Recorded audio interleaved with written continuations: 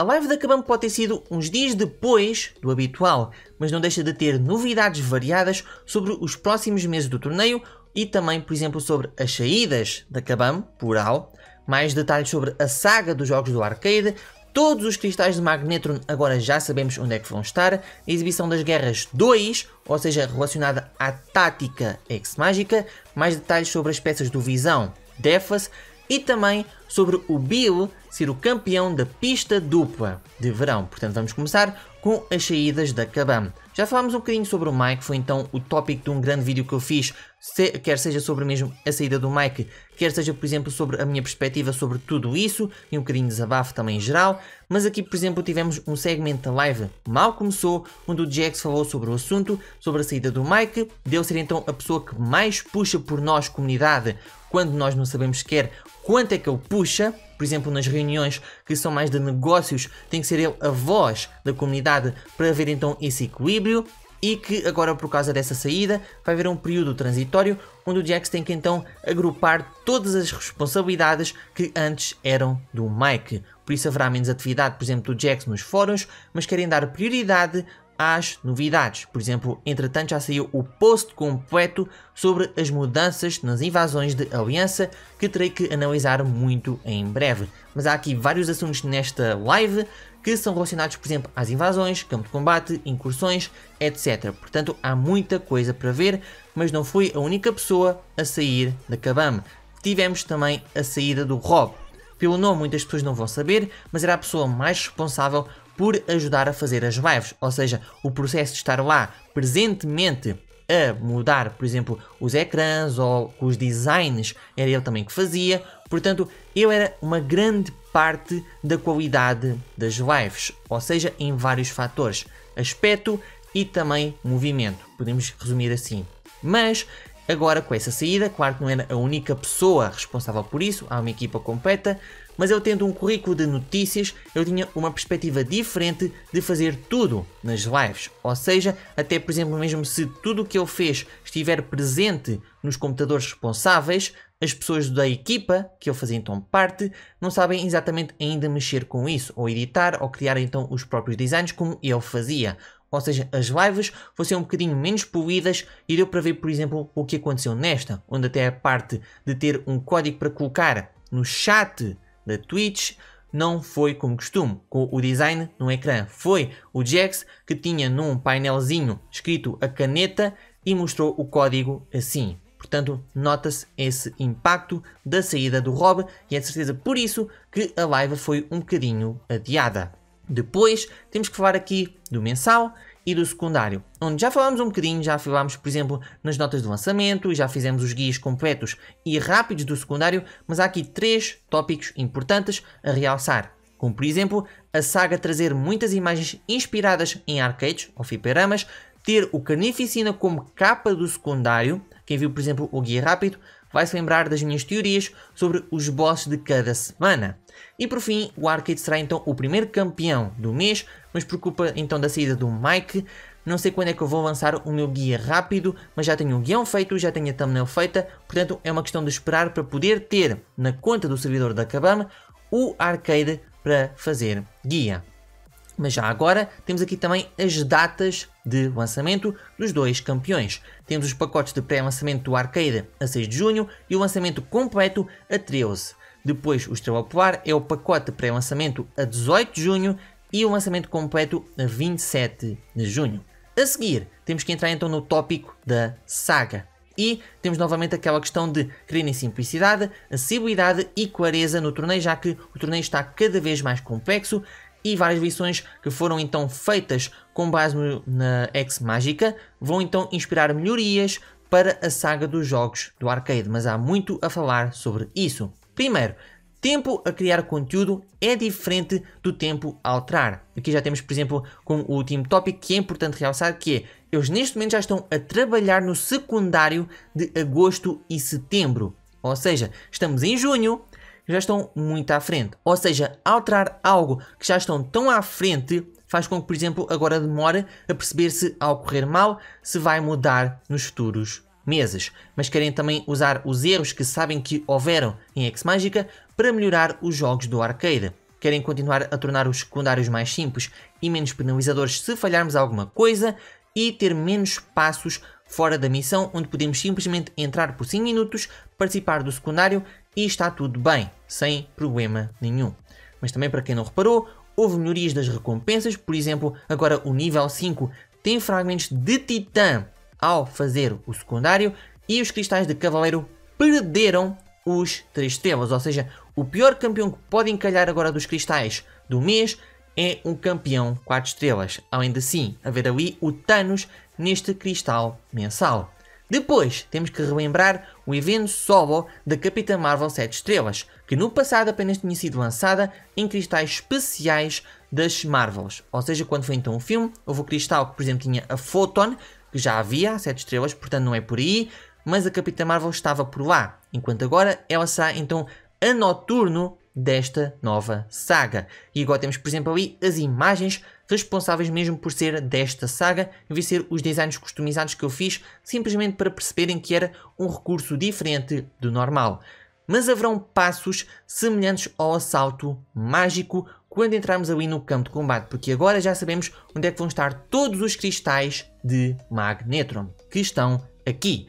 Portanto, temos aqui uma mini tabuinha que eu aqui fiz para agrupar onde vão estar todos eles. Já sabíamos da loja do posto comerciante que ao comprar 10 por mês tínhamos 30 no final da saga.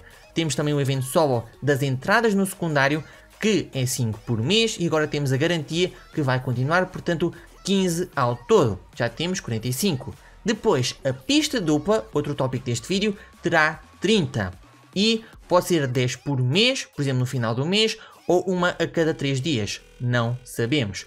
Mas também haverão 5 cristais na passagem, não exploração, da exibição das guerras 2, ou seja, a exibição ex mágica. E haverão 14 em objetivos solo do campo de combate da temporada 19. Ou seja, não é preciso passar o monitoramento de vitórias 3 meses de seguida. Haverão sim objetivos de 48 horas, semelhante ao assalto mágico. Mas não é que seja tão mau, porque lá está, puxar 3 temporadas para contas mais baixinhas é muito, mas irá envolver mais interação. Semelhante então à arena que o objetivo não pode acumular, portanto tem que ter atenção, mas repararem bem ali o valor vai ser algo positivo na mesma. E por fim, desde 15 zonas, também já reparem nisto, do desafio das incursões no final desta saga, terão então mais 10 cristais. E ao todo há 104 cristais, ou seja, há 4 cristais extras que podem falhar alguma coisa, por exemplo ali no campo de combate, podem ver que é 14, não 10, e ainda assim conseguir todos os cristais suficientes para os 100 pontos ali do evento solo.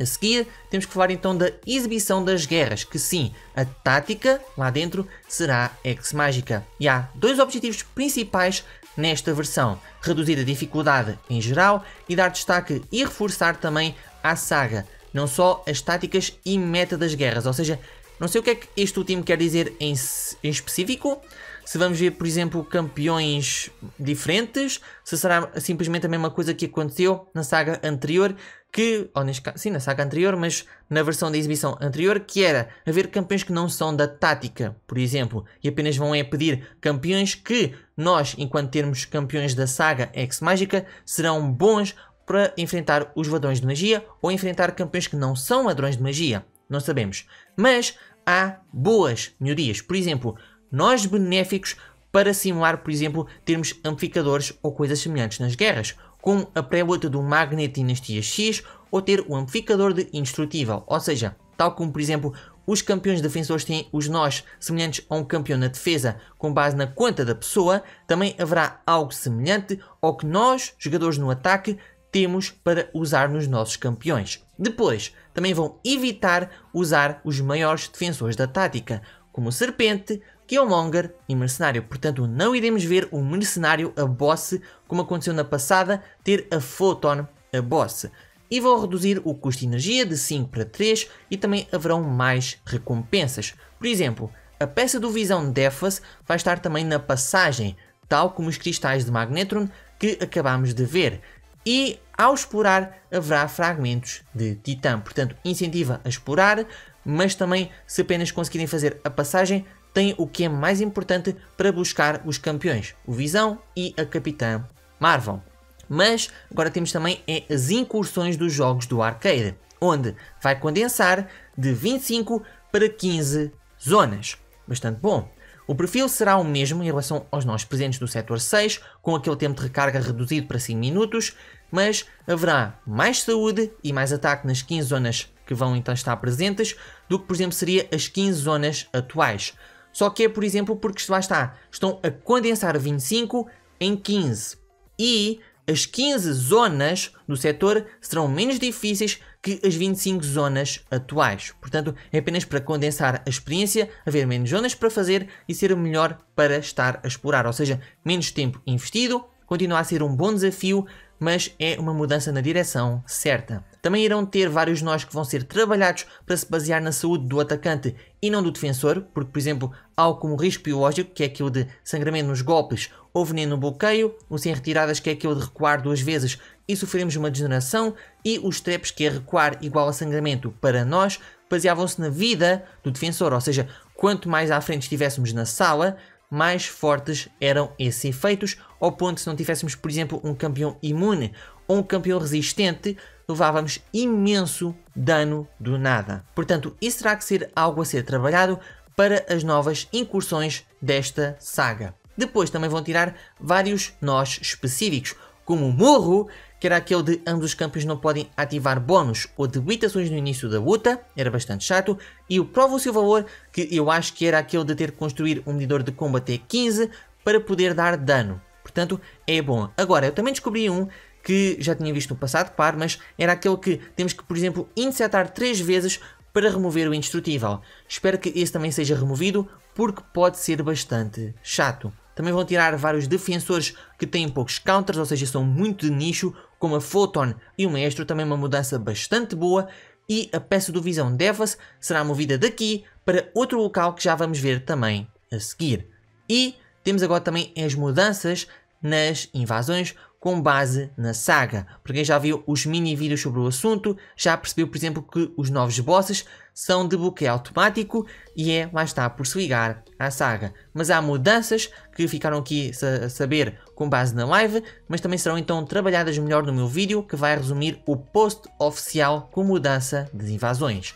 Mas elas estão demasiado fáceis atualmente e querem dar aqui uns toques na dificuldade com novos bosses, novos amplificadores de função, isso é bom, mais campeões das funções e também novas mecânicas nos bosses. E essas mecânicas vão dar mais valor a campeões com dano ao longo do tempo. Portanto, algo positivo para nós também.